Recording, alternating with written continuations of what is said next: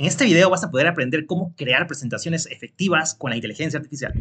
Muy bien, estamos aquí en la pantalla principal. Vamos a ingresar, ya sabes, a gamma.app, así como está, WM. ¿De acuerdo? Entonces aquí, como es nuestra primera vez, vamos a primero registrarnos aquí en el botón Sign Up for Free, de manera gratuita aquí arriba, o aquí abajito también, ¿no? Entonces vamos aquí, ingresamos. Nos va a pedir aquí loguearnos o registrarnos con nuestra cuenta de Gmail, de Google o, un correo electrónico independiente cualquiera. Vamos a ir por lo más tradicional que es con el correo de Gmail. Nos va a pedir aquí loguearnos y luego pasamos a esta pantalla que es el tablero principal para poder crear las presentaciones Recordad que en la versión gratuita tenemos solamente 400 créditos, 400 monedas, digamos, y de hecho que acá yo ya he usado 50, por eso me queda 350 aquí abajito, pero son 400 en, el, en plan gratuito. Ahora, si quieres más, tienes que ir a la versión, de este caso, de paga, ¿de acuerdo?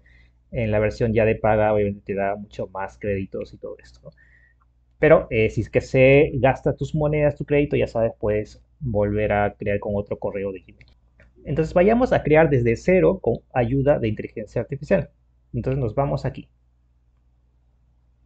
Listo, aquí podemos, por ejemplo, crear con inteligencia artificial, pegar un texto, ¿ok? Y luego nos va a completar. Luego podemos incluso generar también desde cero, que es lo más popular, o importar desde un archivo y nos va a ayudar a modificarlo. Entonces vamos primero a eh, generar justamente desde cero. Nos va a salir esta pantalla. Podemos nosotros crear presentaciones, PowerPoints, podemos crear documentos o incluso páginas web, ¿no? Del texto de la página web. Vamos por presentaciones. La versión gratuita tiene hasta 10 slides, ¿ok? 10 tarjetas lo llaman aquí.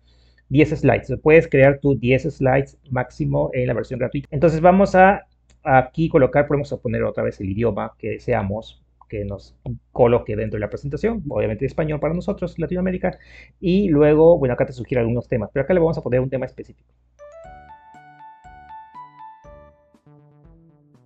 Muy bien, acá le he pedido que me hable sobre la inteligencia artificial. Me va a generar aquí 8 slides, ojo, 8 slides, ahí está, ¿no? Primeros puntos de la agenda, dicen el primer título de cada diapositiva, que es la inteligencia artificial, aplicaciones de la inteligencia artificial, beneficios, desafíos, preocupaciones, ética, casos de éxito y futuro de la inteligencia artificial. De alguna forma tiene coherencia, te das cuenta, tiene coherencia en esta estructura. Ahora, continuar para crear, esos son los títulos, acá va a crear uno por uno, pero primero, antes de eso, me, tiene, me pide hacer el diseño. ¿Qué diseño? Me pide escoger el diseño, le voy a poner un diseño distinto aquí, puede ser este de aquí, ok. Y acá le coloco generar y vamos a ver cómo uno por uno va creándose. Aquí está el primer slide que se crea, el segundo slide, tercer slide. De hecho, que está buscando imágenes por internet también. Hay una opción para colocar imágenes por internet o imágenes también que puedes tú subirle. De luego puedes editar. Bueno, una pequeña encuesta. Y ahí están. Las ocho diapositivas, ocho presentaciones que hemos visto hace un momento. Ahí está, con sus imágenes referenciales. ¿Ok? Entonces acá podemos incluso cambiar el estilo, el color, también el ancho de la presentación. Acá la opción de IA para poder editar con IA. Si queremos ajustar a un texto adicional que me modifique algo, lo puedo escribir aquí. Añádame otra tarjeta, otro slide, o sea un poco más profesional en tus términos, también lo puede hacer. Luego puedo yo aquí eh, agregar, bueno, más slides, puedo agregar columnas, puedo agregar aquí iconos, Puedo agregar también disposiciones distintas de, los textos. ¿Ok? ¿Se dan cuenta? Lo importantísimo y lo muy interesante aquí es, por ejemplo, yo puedo agregar imágenes, cargar imágenes de una URL de la web, puedo buscar dentro de mi archivo de la PC, crear imágenes con inteligencia artificial también. Todo esto te va obviamente quitar tus créditos, pero obviamente es muy potente. También puedo ver, por ejemplo, galerías, colocar acá en una lista de galerías si yo deseo puedo jalar imágenes gratuitas desde internet, por ejemplo, de Amplach, es una, un repositorio donde hay imágenes gratuitas y puedo jalarlas ahí, como puedes ver. También puedo agregar videos aquí, esto es importantísimo, miren, puedo agregar videos de archivos multimedia aquí, por ejemplo, mira, puedo yo colocar una galería y acá le doy clic para subir mi archivo que yo busco en mi PC o una URL, ¿de acuerdo? Puedo cargar esto, ahí está, le estoy cargando, le he cargado esto de acá, por ejemplo. Ahora, también puedo yo subir videos de YouTube. Basta que tenga yo el enlace y listo. Acá, por ejemplo, tengo el enlace de video de YouTube. Y ahí está, automáticamente se ha insertado. ¿no? Y esto es interesante porque tienes aquí ya el video incrustado y le puedes dar play y listo, ¿no es cierto? Empieza a reproducirse. Hola, ¿qué En este video vas a aprender cómo hacer imágenes increíbles.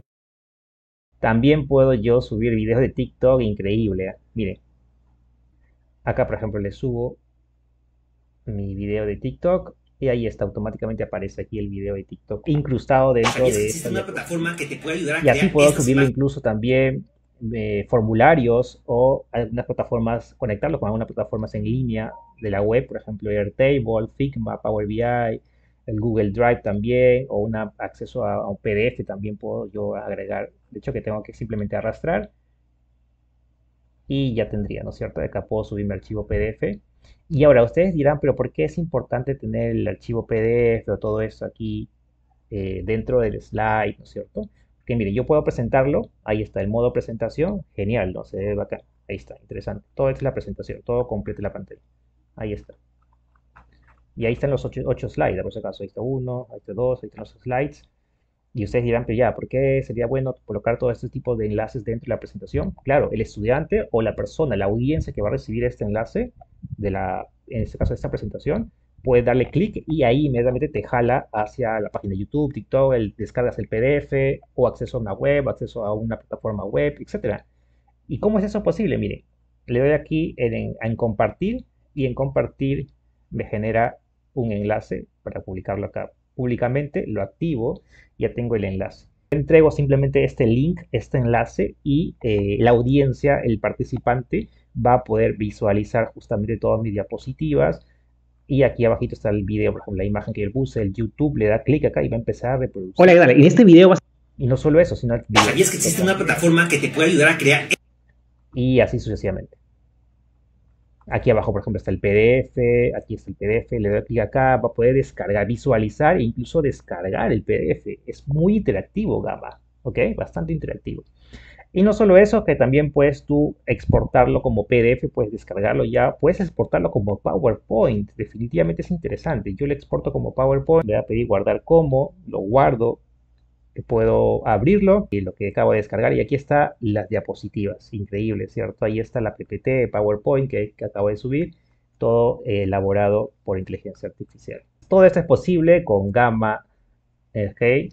Y también puedes tú insertarle aquí formularios, claro que sí, puedes insertarle formularios, botones de formularios o el formulario mismo. Si tú quieres hacer un sondeo en Google Form, por ejemplo, simplemente vas, arrastras y acá pones el enlace del formulario. Muy práctico y te va a salir. Y el estudiante puede darle clic o la persona que está viendo tu slide puede hacerle clic y listo, ¿no? Puedes agregarle botones también de interacción que te puede llevar a un enlace específico. También puedes hacer eso. Es increíble, tiene muchas bondades definitivamente. ¿ah? Ojo, y no solo esto, sino también puedes tú tener las estadísticas, lo que nos interesa bastante, donde el participante, la audiencia está más entretenida, más interesada, en qué slide. Entonces acá puedes tú visualizar en qué slide está más interesado el participante, dónde le ha hecho más clic, dónde hay más interacción, para que después de eso te dé un feedback a ti y luego puedas ir mejorando eso con respecto a otras presentaciones que vayas a hacer más adelante sobre esos temas. Interesante, ¿cierto? Es muy potente Gamma. Y bueno, esto ha sido un video bastante interesante que les he querido mostrar. Y ya sabes, pues, suscribirte a mi canal para más videos como este. Cualquier comentario yo te leo aquí abajito y yo te voy a estar respondiendo. ¿sí? Nos vemos en otra oportunidad. Chao.